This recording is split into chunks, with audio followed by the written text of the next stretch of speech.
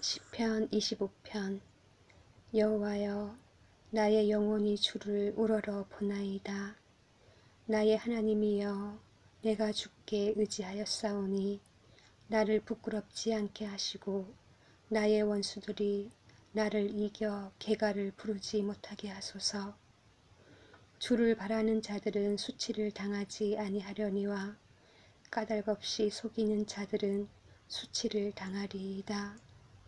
여호와여 주의 도를 내게 보이시고 주의 길을 내게 가르치소서. 주의 진리로 나를 지도하시고 교훈하소서. 주는 내 구원의 하나님이시니 내가 종일 주를 기다리나이다. 여호와여 주의 국률하심과 인자하심이 영원부터 있었사오니 주여 이것들을 기억하옵소서.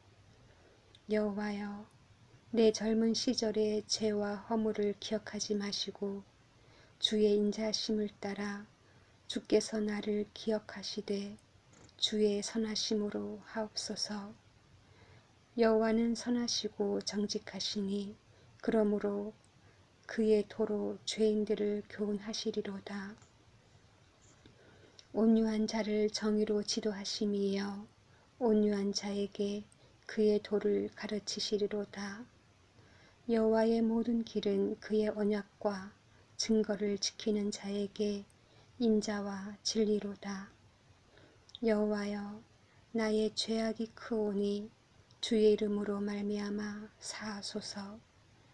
여호와를 경외하는 자 누구냐?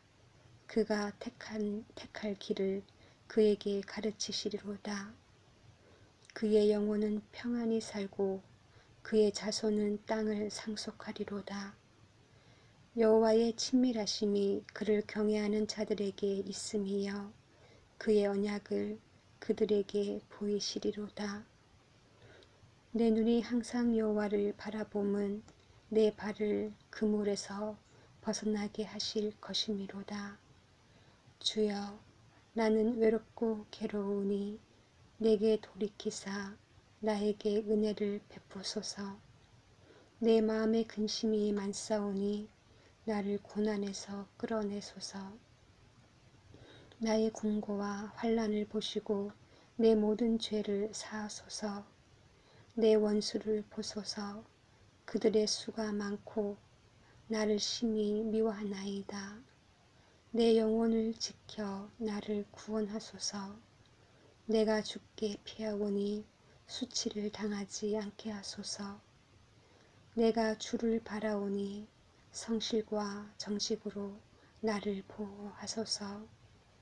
하나님이여 이스라엘을 그 모든 환란에서 속량하소서.